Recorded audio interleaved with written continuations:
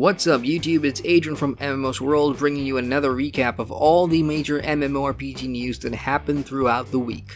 So sit tight and soak it in. Let's start the week with arguably the biggest MMORPG news in months. Magic the Gathering, one of the world's most popular, if not the most popular tabletop card games of all time, is getting its own AAA MMORPG. Yes, you heard that right. Developers Cryptic Studios alongside Perfect World Entertainment and Wizards of the Coast have all announced the new game, which is in development and will feature action combat gameplay.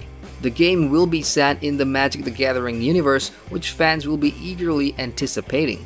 That means locations, monsters, and characters that you know and love from the card game will make an appearance in fully rendered 3D. Oh hell yeah. On top of that, the website claims that the game will be absolutely free to play. For more news on the new Magic the Gathering MMORPG, stay tuned to us by subscribing to our channel as we'll be monitoring this real closely.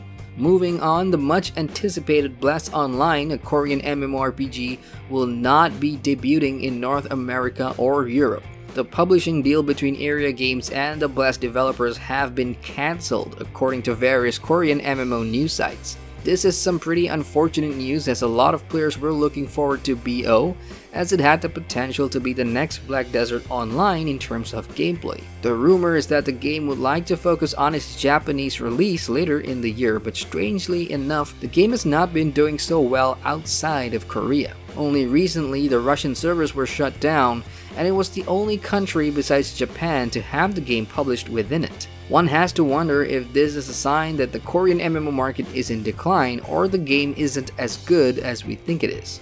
Up next, we've got good news for all you Final Fantasy fans.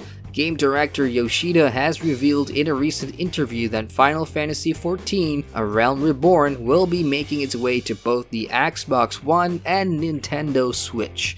This is huge because it's not often that Sony and Square Enix share the spoils of their prize with other platforms. With how Final Fantasy XIV has been doing for the PC recently, and with the launch of their second expansion Stormblood looming, this is no doubt good for publicity and will attract a whole new set of audiences for their MMORPG. Yoshida has also gone on to say that they are still in the discussion stage with Nintendo and Microsoft, but there are some concerns about sharing responsibility. We wonder what that means.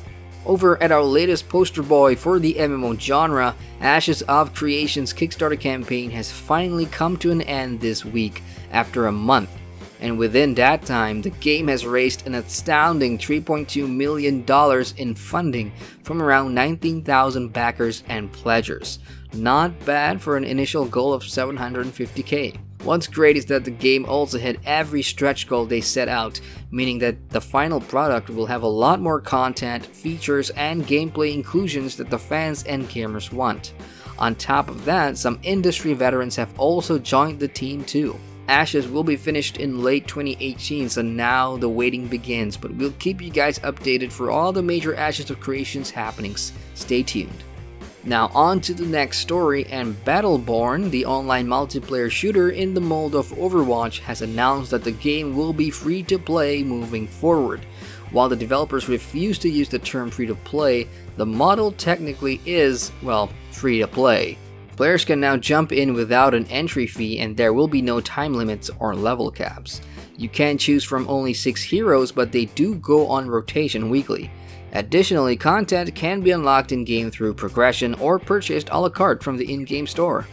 For players who already purchased the game at release, it sucks, I know, but don't fret, you will be rewarded with a founder status. This gives you legendary gear, premium currency, credits, and loot packs too. So if you've been holding out on checking this game out, it's time to jump in because it's free. And that wraps up our major MMO news recap for the week. For more MMORPG news as it happens, head on over to our website at mmosworld.com. Don't forget to like the video and subscribe to the channel for more MMO content. As ever, I'm Adrian from MMO's World, signing out.